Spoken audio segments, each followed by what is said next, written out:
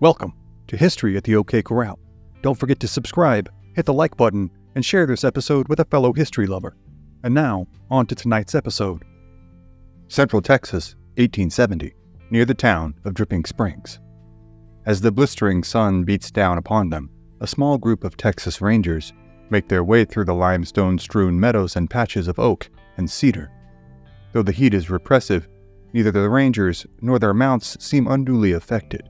As they ride, the Rangers' eyes are veritably glued to the ground, searching for any sign of their quarry having passed through these parts. They have been alerted that a band of Comanches, the universally feared lords of the southern plains, have been raiding local ranches, stampeding and killing livestock, and making off with a number of their horses. Though their veritable empire had been long in the state of retraction, the mighty Comanche are still an incessant and very dangerous threat here on the Texas frontier roughly 25 miles west of the capital of Austin.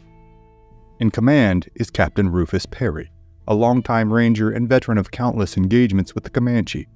Born in Alabama in 1822, Perry had migrated west to Bastrop, Texas, with his family in 1833.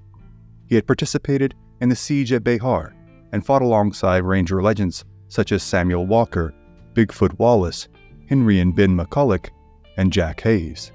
At 48 years old, he is the eldest and most experienced in the group by a substantial margin. Most in this contingent of little more than two dozen are scarcely over the age of 22. Amongst the youngest of these men is one Frank Payne, a native of Austin, Texas, who is scarcely in his late teens.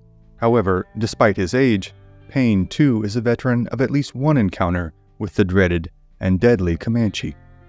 In 1866, at roughly the age of 12 or 13 years old, the young man had accompanied his father and several other local men on what was known as a cow hunt, or an effort to scour the countryside west and northwest of Austin in order to round up any strays that may have wandered into the natural labyrinth created by the many creek beds and canyons. Even in 1866, this was still considered a reasonably dangerous task, as roving bands of Comanche, only a few miles outside of town, was still not an altogether uncommon occurrence. However, it had still been deemed a safe enough adventure to the young Frank Payne's father to allow his young son to participate, albeit only to observe from a distance.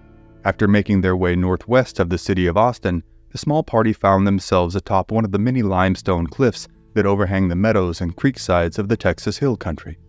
While making their way along the ridgeline of a small canyon, they spotted a small group of Comanche engaged in what seemed to be a long awaited feast. The following is an excerpt from A.J. Sowell's Early Settlers and Indian Fighters in Southwest Texas. The white men at once made preparations to attack them and drew back under cover and held a council. They did not wish to let the Indians escape without a fight, but Mr. Payne was concerned about his young son Frank for fear that he would get hurt.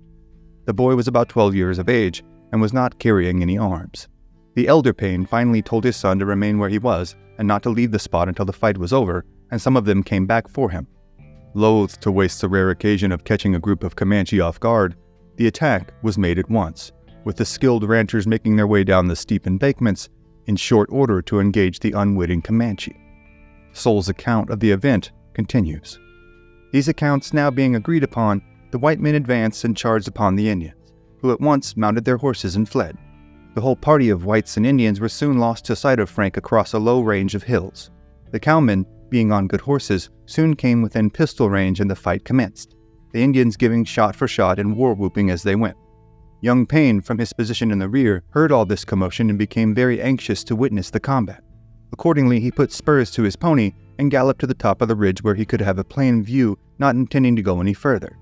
When he arrived at the crest of the elevation, however, he met a loose and terror stricken horse coming out of the fight, and the boy's horse took fright at him and ran away, and instead of going back the way he came, ran straight ahead and followed into the wake of the Indians. The white men were scattered and one of them unhorsed, and the boy soon passed all of them and ran into the natives. Mr. Payne saw the peril his son was in, and when he passed, called out, Hold up, Frank, hold up! That was what the boy was trying to do with all of his strength, but the pony had the bit in his mouth and was beyond control. The Indians evidently thought this a daring and intentional charge on the part of the young white brave, and, yelling loudly, prepared to fight him. The boy passed some of the Indians, who shot at him and threw lances from all sides. Finally, a bullet, arrow, or lance cut his bridle rein in two. His horse then increased his speed and soon got clear of all the Indians. Frank now took the rope from the horn of his saddle and, making a lope, leaned forward and secured it over the nose of his horse, finally stopping him. In the meantime, the elder Payne had followed his son as fast as he could in order to try and save him, and fought his way through the Comanche, scattering the balance. Young Frank made a circle and came back. Besides having his bridle rein severed, two arrows were sticking into his saddle. Only one of the cow hunters was wounded. He was able to ride, and when his horse was brought back, he mounted, and the party arrived at home without further incident. Rather than be dissuaded from a life of hardship and violence with the Texas Rangers, the young man found his brush with death only briefly whetted his appetite for frontier adventure. Payne had signed on with the Rangers earlier in this year of 1870 and had been assigned to headquarters at a place known as Camp San Saba Springs, near present day Coleman, Texas. After being alerted to the Comanche activity, the company has made their way south, now nearing a large hill located roughly six miles south of present day Marble Falls, Texas, known as Shovel Mountain. As the contingent of rangers, clothed in outfits suited to hill country practicality and armed to the hilt with Colt revolvers and repeating rifles, make their way around the base of the mountain, their ears are perked by the faint sound of a man's voice crying out in English. His words are indiscernible, but his plight is obvious as his tone is that of a desperate and nearly hopeless man. Suddenly, just as Captain Rufus Perry is cautiously advancing his men around a bend in the trail, the alabaster silhouette of a nude white man catches even the most weary among them off guard. His eyes are wide, his mouth caked with dried saliva, and his once scarcely discernible cries now ring clear as a bell to the rangers, veterans and neophytes alike. Comanche! Comanche! the man cries, as the war whoops of his pursuers can now be heard in a simultaneous instant.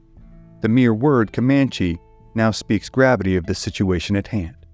The man runs headlong towards them, desperately flinging himself towards the thick of the Ranger formation as if he were a tired runner upon the final stretch of a race, finishing only with his last vestiges of effort and energy. Now, just as the unknown, unfortunate, and unclothed settler tumbles into the relative cover of their company, the Rangers are met with the daunting sight of several pursuing Comanche, incensed and incredulous at both the decades of encroachment and the spoiling of their raid. However, the pursuing warriors, now having spotted their pursuers, instantaneously draw their ponies to a halt and reverse course, seeking to drive their newly gotten horse herd west in an effort to escape, now that the proverbial hand of fate has turned them from hunter to hunted. The account from AJ Sowell continues. The Indians had 100 head of horses and were going slow on account of the rough country. The Rangers now made a flank movement to the right, keeping under cover of the brush until near the horses, and then making a sudden dash to cut them off from the Indians in a narrow place. They ran them back south against the foot of Shovel Mountain and left three men to hold them there until the battle was over. The Rangers knew they would have to fight the Indians as they were in a large force and yelling loudly.